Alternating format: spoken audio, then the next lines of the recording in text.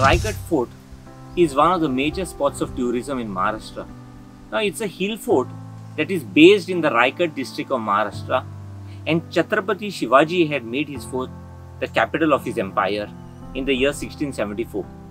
Now, the fort is on the mountain top with 1450 steps that leads to the fort, and the steep fort walls guarded the fort on three sides. Now, there was a steep vertical drop on one side, and the generals then decided not to build a wall on one section of the fort. They did not think any human could possibly scale the vertical drop to enter the fort. The drop seemed enough protection. Now, a village sprawled at the base of the hill, and the villagers from the foot of the hill came up daily with their wares to sell to the residents living within the fort compound. Now, to sell their wares, the villagers trekked up the hill through a dusty road leading directly to the fort gates. They would stand by the main front door when the man in charge, known as the Maula or the Maratha soldier, would open it at sunrise, allowing the villagers inside. The gates were closed at sunset and would not open until the next morning. And these were the orders of Shivaji Maharaj. Now, Hirkani was a poor milkmaid who bought fresh milk to sell in the fort. She came in the morning through the main door and went home before sunset. Now, on one such day, while getting ready to leave for the fort, Hirkani got delayed as a baby was crying inconsolably. And a little baby at home was crying continuously and had to be calmed down before she could come. However, Hirkani, though very late, managed to make it to the daily market and sold milk to her regular customers. Unfortunately, she was unable to reach the gates in the evening on time, and the Maula, or what you call as the Maratha soldier, in charge had already shut the gates at sunset. Now, since she had left a baby at home, not returning was never an option. Hirkani tried pleading with the Maula, who did not budge and told her that Shivaji's orders had to be followed at all cost. Please open the door just a little bit. I have a baby at home and will go hungry if I don't reach home tonight. She pleaded. The doors cannot open for anybody.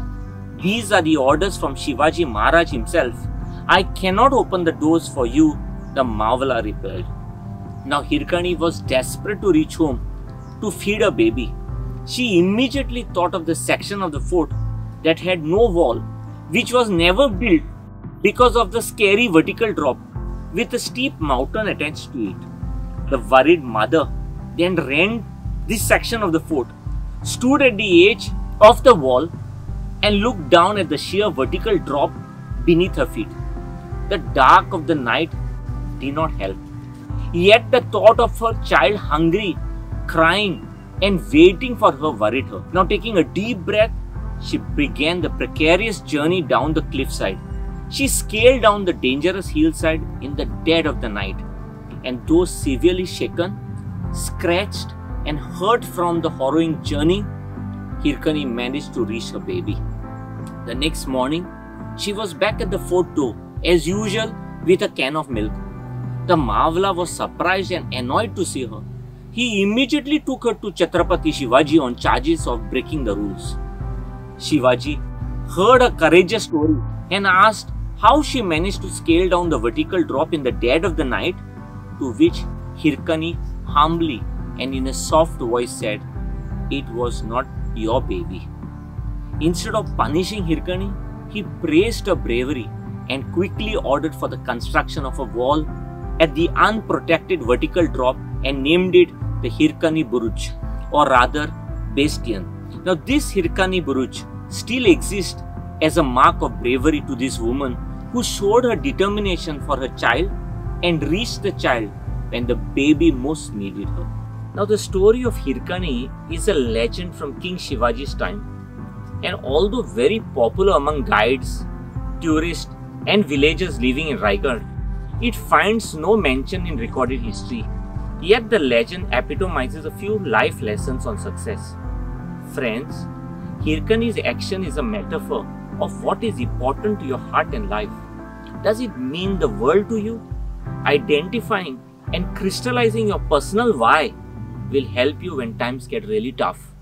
Anybody can start, but not everyone will finish what they set out to do. The most successful people succeed because they are clear on their priorities and passion. Someone rightly said, There are many things that will catch my eye, but only a few that catch my heart.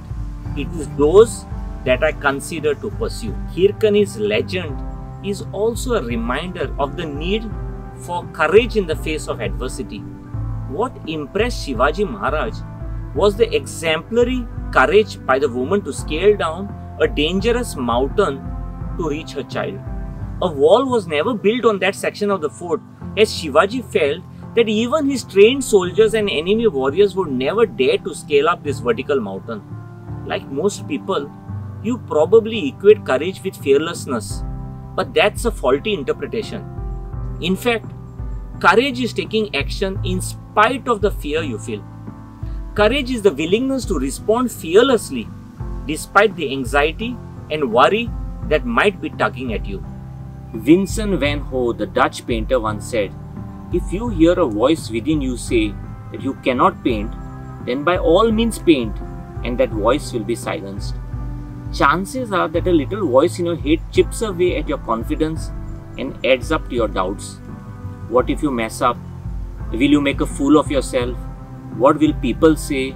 You are just not smart enough, not talented enough, not capable enough, not experienced enough. You need to doubt your doubts. Self doubts are just your fears made manifest in order to protect you from loss. When that nagging doubt comes around, tell yourself to stop that thought and counteract the doubts by acknowledging that there is an opportunity for success which is much greater. Another option is to be aware of the doubt, acknowledge it, and move forward knowing that you are committed to making your dreams happen anyway. But in my opinion, when in doubt, pray it out. Sometimes we need to turn the doubt into a prayer for divine guidance. Finally, Hirkani's legend epitomizes that life's battles are not always won by the strongest or the toughest, but rather the one who thinks he can. Sir Edmund made international headlines in 1953 when he became the first man to scale Mount Everest along with Sherpa Tenzing Norgay. Now, after a failed attempt to conquer Mount Everest, he is known to have said, I will come again and conquer you because as a mountain, you can't grow, but as a human, I can. And true to his words, on May 29, 1953, he actually conquered it. Friends, ideas that change the world come from bold and brave thinkers. Certainly, the summits of the mountains have been reached, the bottoms of the ocean and the poles too have been conquered. It's courage that is behind all these things. So, step into courage, and your confidence will grow, and your fears simply won't be so frightful anymore.